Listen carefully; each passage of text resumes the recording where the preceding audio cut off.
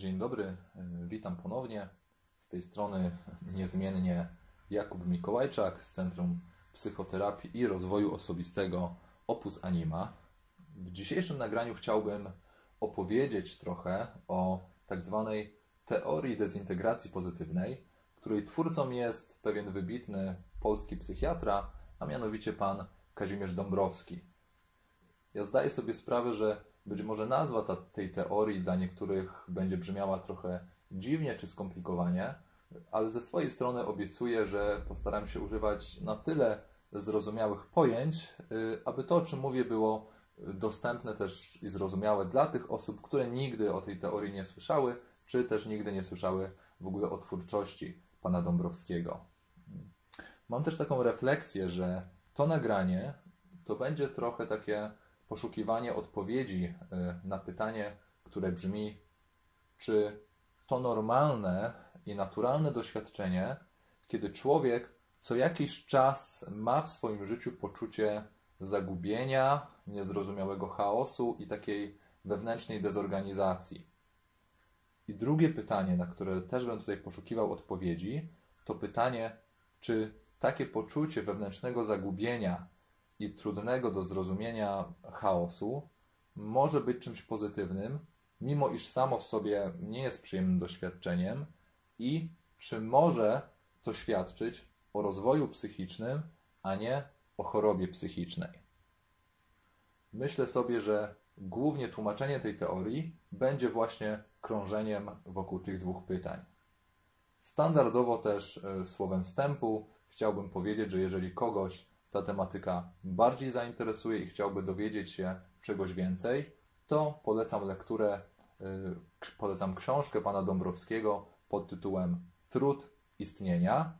Z takim jednak zaznaczeniem, że jest to książka napisana dość specjalistycznym językiem, jest tam dużo takich psychiatrycznych i filozoficznych pojęć, y, więc być może y, lepszym rozwiązaniem w pierwszej kolejności byłoby odwiedzenie strony dezintegracja.pl, która jest właśnie poświęcona teorii pana Dąbrowskiego i w ogóle całej jego twórczości. Myślę, że to będzie y, dobry pomysł na taki pierwszy krok, aby dowiedzieć się coś więcej w tym temacie.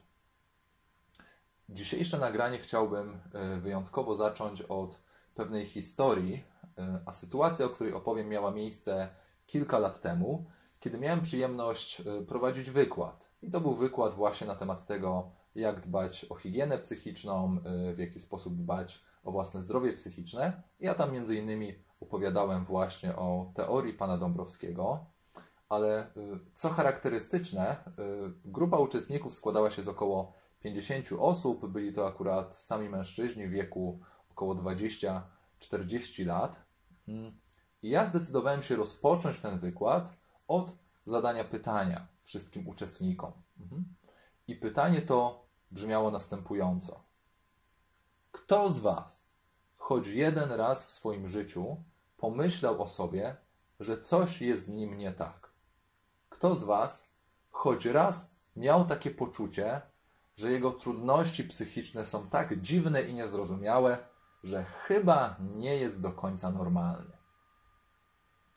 I w tym momencie, kiedy ja zadałem to pytanie, na sali zaczęły się dziać bardzo interesujące rzeczy.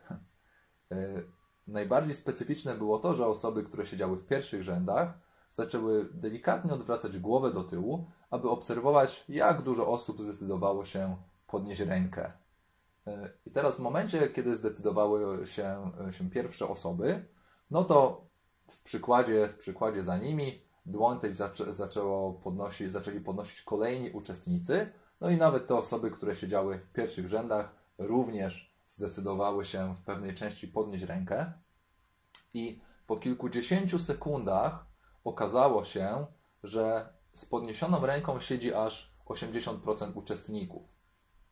I teraz w tym momencie ja poprosiłem y, wszystkich, którzy byli na sali, aby rozejrzeli się dokładnie dookoła siebie i zobaczyli, jak dużo osób zdecydowało się przyznać y, do tego, no, że miało w swoim życiu chociaż raz takie doświadczenie, że myślało o sobie, że coś jest z nim nie tak. I w momencie, kiedy te osoby rozejrzały się dookoła, no to nagle e, na sali pojawiło się trochę śmiechu, ale w moim odczuciu ten śmiech był e, trochę wyrazem takiej ulgi.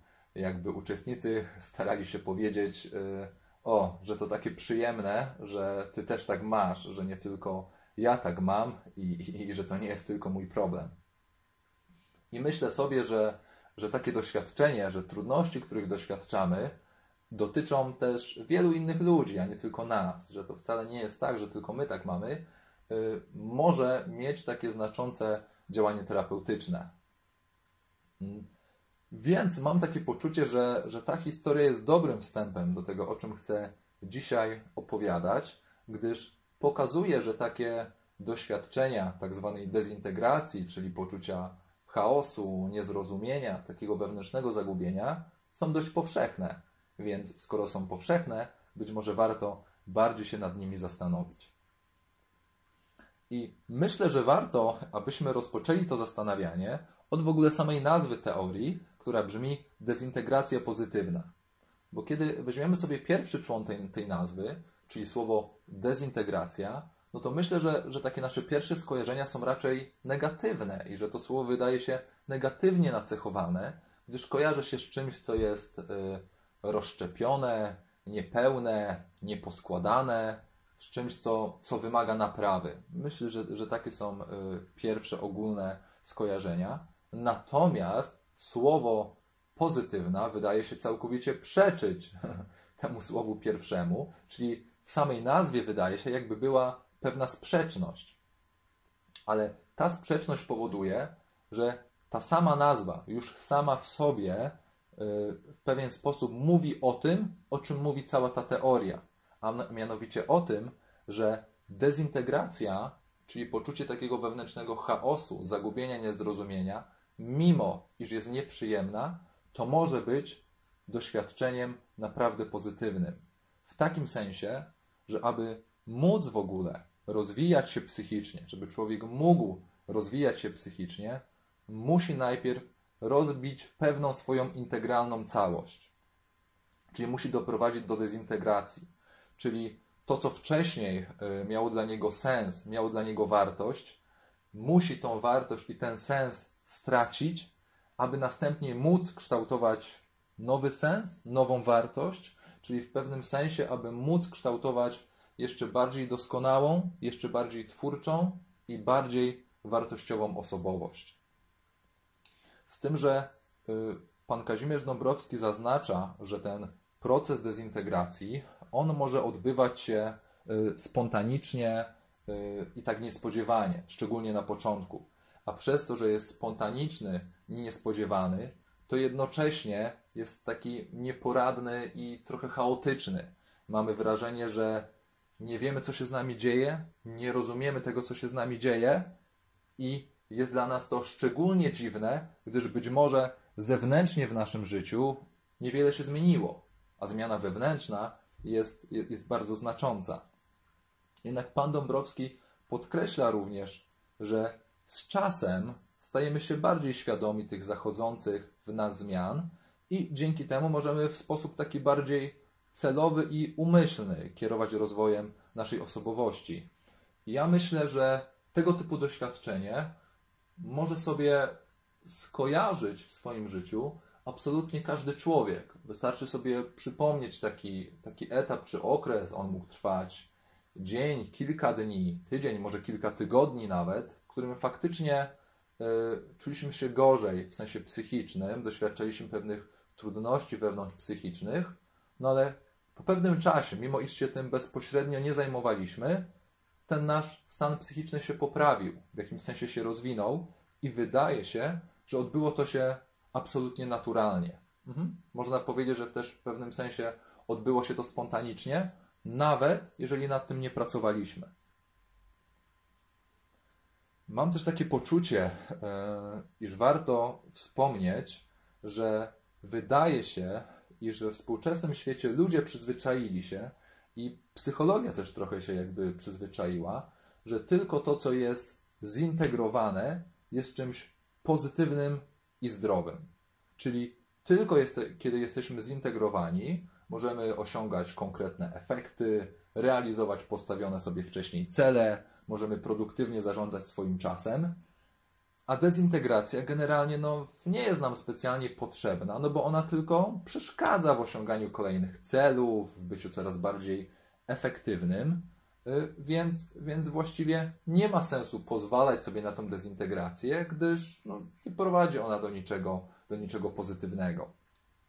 I takie postrzeganie powoduje również, że osoby, które są regularnie jakby zintegrowane, czyli są stabilne psychicznie, nie doświadczają żadnych trudności, okresów załamań, krótszych bądź dłuższych, postrzegamy na przykład jako bardziej odpowiednie do związku czy do małżeństwa, postrzegamy jako bardziej odpowiednie na stanowiska kierownicze i wydaje się, że właśnie y, na takie stanowiska często te osoby trafiają. Myślę, że to jest taka kwestia, nad którą y, warto się zastanowić i warto ją poddać takiej samodzielnej refleksji. Osoby natomiast, które wydają się bardziej zahamowane, niepewne, osoby, które mają dużo wątpliwości, zdarza się, że bywają automatycznie oceniane przez innych ludzi jako takie słabiej rozwinięte, może nawet mniej inteligentne, a skoro są mniej stabilne i doświadczają czasem poczucia załamania, mają wątpliwości, zadają dużo pytań, no to zdarza się, że ludzie oceniają takie osoby jako, jako mniej atrakcyjne, jako mniej ciekawe. I teraz paradoks tego podejścia polega na tym, że kiedy myślimy, że tylko integracja jest czymś pozytywnym, że tylko kiedy jesteśmy zintegrowani, y, to, to jesteśmy zdrowi psychicznie, to takie myślenie paradoksalnie negatywnie wpływa na nasz rozwój psychiczny, bo przez to nie pozwalamy sobie na etap dezintegracji, dzięki którego moglibyśmy wzrosnąć, moglibyśmy rozwinąć się w sposób jeszcze bardziej twórczy i wartościowy realizować siebie. Ale dopóki mamy przekonanie, że doświadczenie dezintegracji jest czymś złym i źle o nas świadczy, czy, świadczy, będzie świadczyć o jakiejś chorobie psychicznej i będziemy to negatywnie oceniać, to nie jesteśmy w stanie odkryć w naszym życiu nowych sensów, nowych wartości, być może odkryć y, nową misję, której chcielibyśmy się poświęcić. Nie możemy mieć do tego dostępu, gdyż dostęp do tego postrzegamy jako coś negatywnego. Myślę też, że, y, że bardzo cennym spostrzeżeniem jest y, to, czym pan Dąbrowski y, pisał w swojej książce, a mianowicie pisał o tym, że jeżeli poszukujemy tego, co jest nowe, to naturalne jest, że pojawia się w nas pewien rodzaj zdziwienia i ciekawości. Ale razem z takimi uczuciami jak zdziwienie czy zaciekawienie tym, co nowe, rodzi się niezadowolenie z obecnej sytuacji.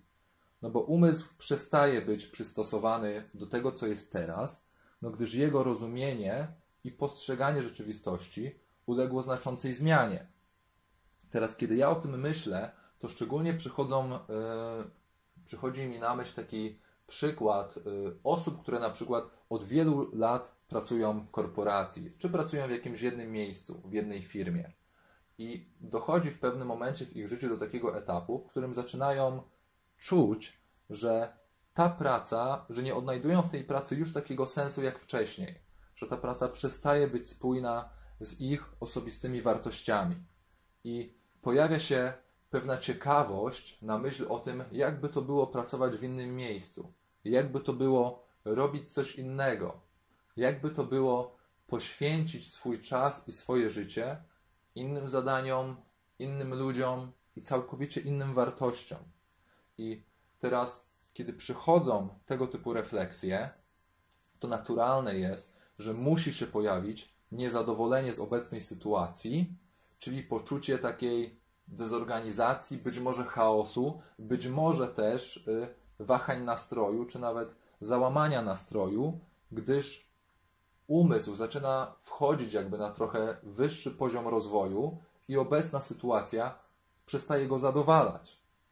Jednak wydaje się, że często osoby w takiej sytuacji tkwią dalej w miejscu, w którym są, myślę, że z różnych powodów. Być może, y, być może często z, z obawy finansowej, y, a być może też często z obawy emocjonalnej, gdyż obawiają się doświadczyć tego etapu dezintegracji w sensie emocjonalnym, gdyż postrzegają go właśnie jako coś negatywnego, jako coś, co no nie może być źródłem efektywności, osiągania celów i realizowania marzeń.